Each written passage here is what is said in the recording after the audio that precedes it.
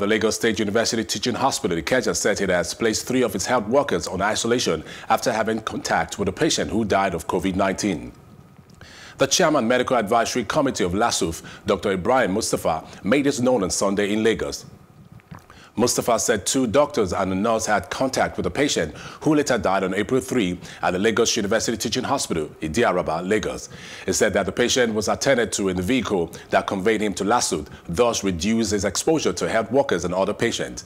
He added that the patient did not divulge his travel history and underlying medical conditions to the health workers.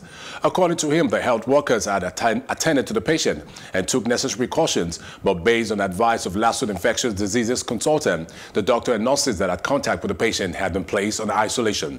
Mustafa advised health workers to continue to maintain vigilance and ensure universal precaution while attending to patients. The deceased patient was a 55-year-old Nigerian male who lived in Ireland but returned to Lagos two weeks ago.